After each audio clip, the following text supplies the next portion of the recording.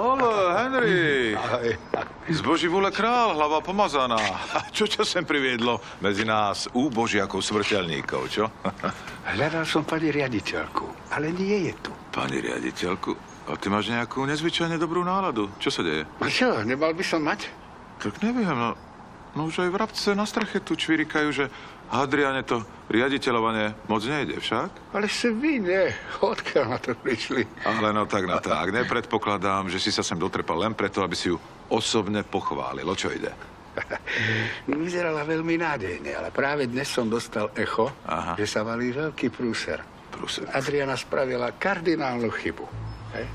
A táto nemocnica pravdepodobne príde o ohromný balík peňazí. Ja...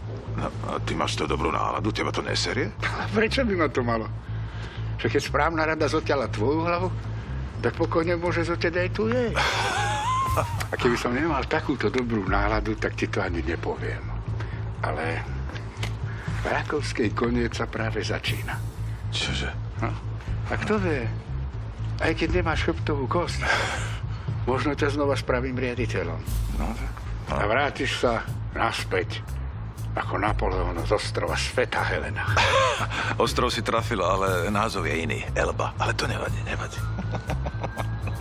To je fuk. Áno. Takže oči na stopkách Áno. a nikomu ani múk. Spoláhni sa.